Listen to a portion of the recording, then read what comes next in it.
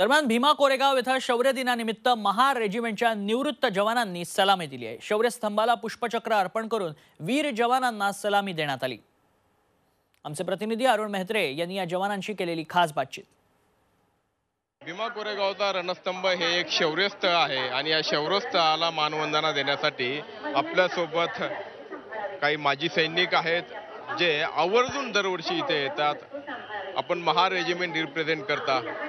खरोखर मोठं शौर्य आपल्या आधीच्या सैनिकांनी गाजवलं आणि तुम्ही देखील गाजवलेलं आहे.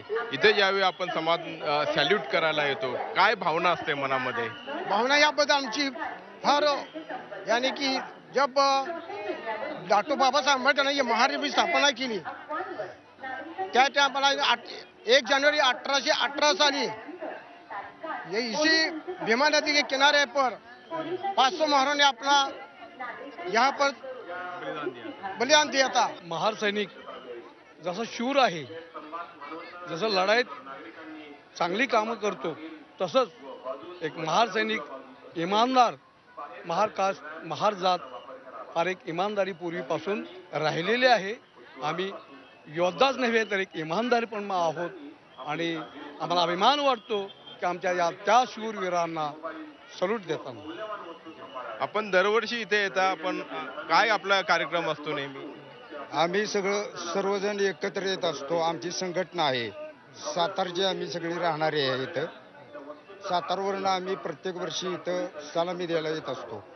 आणि महार रेजिमेंटचे संपूर्ण आम्ही एक सर्व्हिसमॅन आहे. त्यानंतर आम्ही महार सैनिक को अति प्यारा मरून रंग का ध्वज है नेरा हे आमचा नारा आहे. हा महार रेजिमेंटचे सगळे लढवय आणि बॉर्डरवर संपूर्ण एक दिलानं काम करते. खूप आनंद वाटतो आमच्या पूर्वजांनी काय शौर्य जे शौर्य गाथा गाजवलं त्याबाबत खूप अभिमान मानतो. आपण बोलाल जरा? आपण हा हा. आपले बॅजेस बघून खरोखर आम्हालाही अभिमान वाटतो. हा हा. सेवा केली ना तिथे.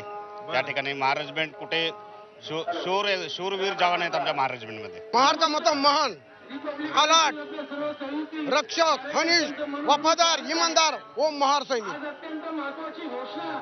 खरोखर तुम्ही महान आहात त्याच्यामुळे तुम्हाला देखील सॅल्यूट धन्यवाद आमच्याशी बोलल्याबद्दल.